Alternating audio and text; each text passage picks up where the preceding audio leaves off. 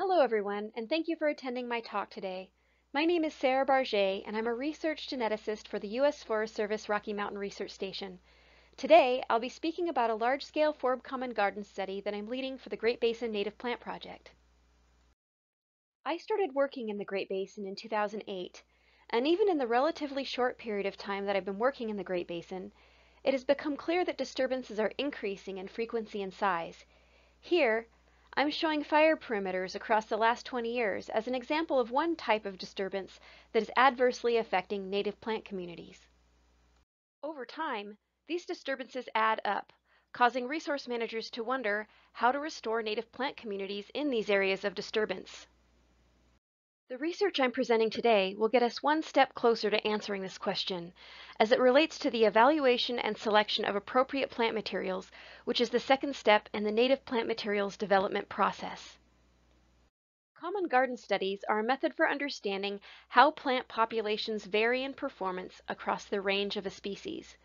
Prior work from our group has primarily focused on perennial grasses, and this was a great place to start because these native grasses are good for adding structural diversity to native plant communities. They take up space to prevent invasion.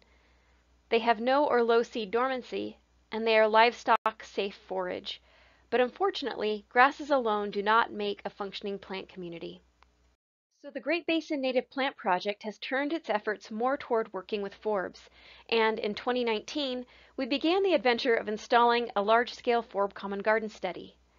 This will allow us to take knowledge and resources from past experiments and use them to create a standardized protocol that will streamline common garden research for a variety of forbs. And this is with the goal of determining species level flexibility to being moved into novel conditions, identifying population level variation in performance across the range of a species, and creating knowledge and tools for practitioners who are planning and performing restoration on the ground. The foundation for this study began with the selection of focal species with particular characteristics of interest.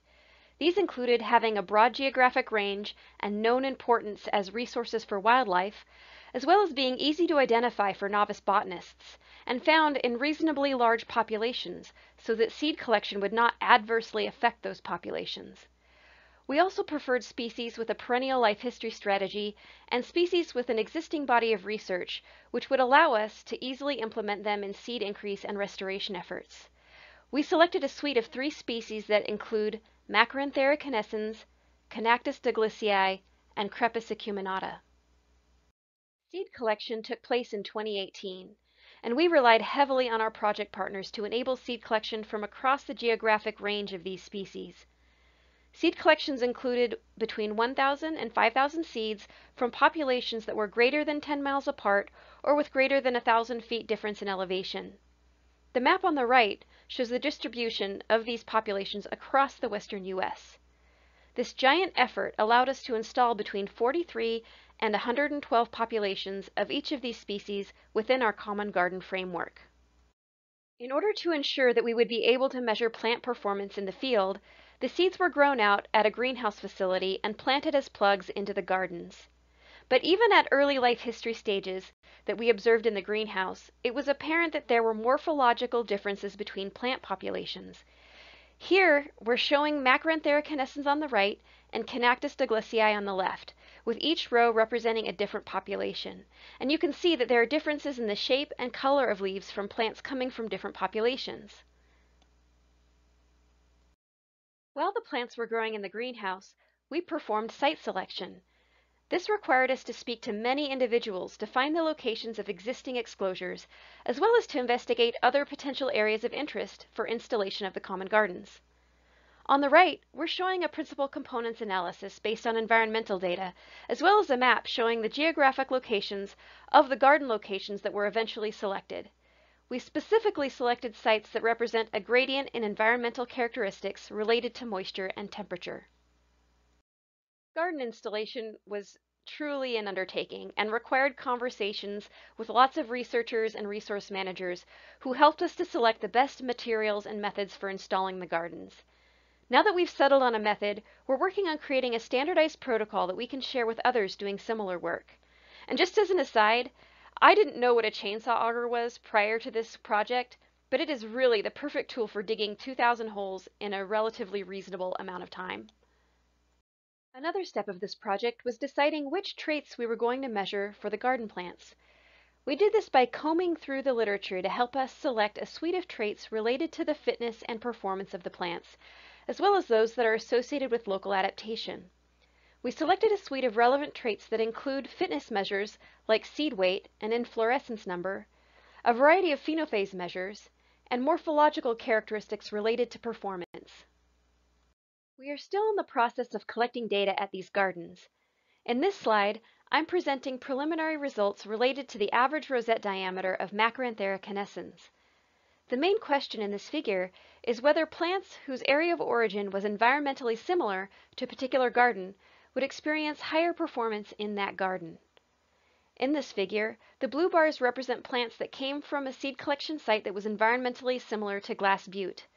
The orange bars represent plants that came from a seed collection site that was environmentally similar to Orovada, and the gray bars represent plants that came from a seed collection site that was environmentally similar to Reno. On the x-axis, you see the different garden sites where these plants were measured, and on the y-axis is the rosette diameter in millimeters. This figure shows that plants that came from a site that was environmentally similar to a particular garden grew larger in that garden, meaning they had a larger rosette diameter, perhaps indicating some level of higher performance. My other question is whether plants that come from a seed collection location that is geographically close to a particular garden would perform better in that garden. In the figure on the right, the orange bars represent plants that came from a seed collection site that is close to Orovada, and the gray bars represent plants that came from a seed collection site that is close to Reno. On the x-axis, you see the different garden sites where these plants were measured, and on the y-axis is the rosette diameter in millimeters. This graph shows that plants that came from a seed collection site close to a particular garden had a larger rosette diameter in that garden, perhaps indicating higher performance. It's information like this that we will be putting into our models to help us create seed transfer guidance for land managers. Leaf tissue was also collected for genetic analysis which will help us to understand whether ploidy may be an issue that we need to consider when making our recommendations, as well as allowing us to couple lineage data with climate and performance metrics. This data will be used to create seed transfer guidance for restoration, which will include spatially explicit seed zones, such as those created for bluebunch wheatgrass depicted here on the right from a publication by St. Clair et al., as well as scientific publications produced by the Rocky Mountain Research Station and our academic partners at the University of Nevada, Reno and Utah State University in Logan, as well as other partners that may have yet to join us. In my next slide, I'll be showing you preliminary results for a project being conducted by one of our academic partners at the University of Nevada, Reno. Tessa Bartz and Beth Leger at the University of Nevada, Reno are exploring how water availability and precipitation at the environment of origin affects seedling emergence and survival. To get at this question, they are performing a field experiment using seeds from populations found in the common gardens, and have applied different watering treatments to mimic a range of precipitation values found at the seed collection sites from these populations. In the figure, the x-axis lists the different Chaenactis populations in order from driest environment of origin on the left to wettest environment of origin on the right. Preliminary results suggest that populations originating from locations with less annual precipitation may have relatively higher survival in the dry ambient treatment when compared with populations that originate from locations with higher annual precipitation. This indicates that precipitation may be an especially important component to consider when selecting seed source populations for restoration. Tessa and Beth are also examining whether different populations of these focal species vary in how they respond to competition with cheatgrass, an invasive annual grass found across the western U.S.